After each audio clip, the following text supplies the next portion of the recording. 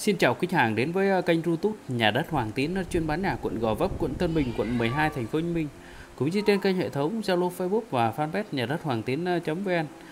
Buổi chiều ngày hôm nay, Nhà đất Hoàng Tín xin gửi đến khách hàng một căn nhà được thiết kế theo phong cách Cityland rất là đẹp nằm trên trục đường à, Phạm Văn Chiêu thuộc phường 14 quận Gò Vấp, thành phố Hồ Chí Minh. Đây là khu vực mặt tiền chính phía ngoài của căn nhà mà hôm nay nhà đất Hoàng Tiến đang muốn gửi đến cho khách hàng. Cũng như căn nhà này thì à, được thiết kế theo phong cách Cityland nằm trong khu nhà lầu đồng bộ và khu này mình có 100 à, căn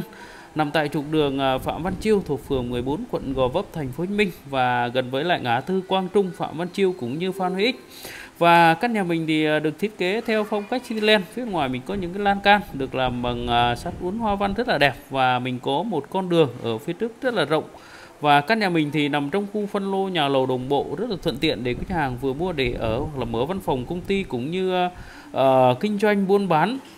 à, với à, tất cả các loại ngành nghề và căn nhà mình thì à, nằm trên con hẻm rộng lên đến à, à, 5-6 mét và chỉ cách đường trục chính đường à, Phạm Văn Chiêu tầm cỡ khoảng 100 mét đi bộ thôi. Với hai dãy nhà lầu đồng bộ rất là đẹp và với con đường ở phía trước căn nhà mình được trải nhựa rất là rất là đẹp. Và mình cùng nhìn lại cái khu vực mặt tiền chính phía ngoài của căn nhà để di chuyển vào khu vực bên trong để giới thiệu cho hàng. Về một căn nhà đang có hướng là hướng tây tây bắc phù hợp với hàng thuộc mệnh uh, Tây Tứ Trạch này.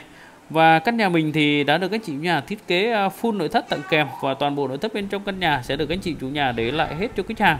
Và chỉ với giá 7 tỷ ờ, 600 triệu đồng. Còn thương lượng mạnh là khách hàng có thể sở hữu ngay cho mình một căn nhà đang có diện tích là ngang 4 mét và chiều sâu căn nhà lên đến 16 mét và được anh chị chủ nhà đúc kiên cố một trệt và ba lầu. Công năng sử dụng của căn nhà mình thì mình có khoảng sân ở phía ngoài để xe gắn máy phòng khách, phòng bếp nhưng mình sẽ có 4 phòng ngủ chính và 5 nhà vệ sinh, phòng thờ giặt và thân thượng trước sau. Hướng chính của căn nhà mình là hướng tây, phù hợp với hàng thuộc mệnh nhà tây tứ trạch. Và mình vừa di chuyển vào à, khu vực à, bên trong của căn nhà thì phía ngoài mình sẽ có một khoảng sân khoảng 2 mét để xe gắn máy và tiếp đến mình sẽ